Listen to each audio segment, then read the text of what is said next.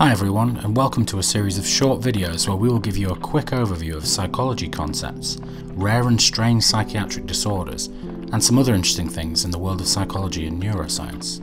This episode is about de Clerambault's syndrome, which is also known as erotomania in modern classification systems.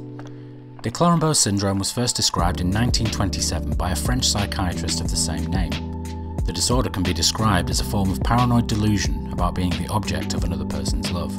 People suffering from de Clerambault's syndrome, more commonly women, are utterly convinced that another person is deeply in love with them, despite this person never having shown any affection towards the sufferer, and they haven't given the patient any reason to believe this imaginary love exists. The subject of the sufferer's delusion is typically older and of higher social status than the afflicted person, and may sometimes be a famous actor, TV personality, or artist.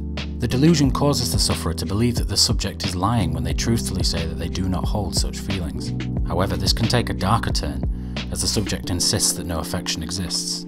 The delusions can lead to persistent stalking, threatening, or other dangerous behaviours. Repeated rejections from the innocent subject may be interpreted as hidden or cryptic declarations of love to the de Clerambault sufferer, where insistence on the reality of the situation serves to paradoxically strengthen their delusion.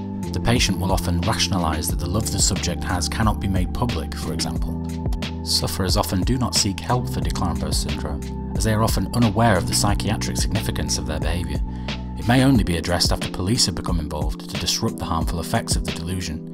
The disorder can then be treated with therapy and antipsychotic medication. And with effective treatment, delusional symptoms can subside in up to 50% of patients.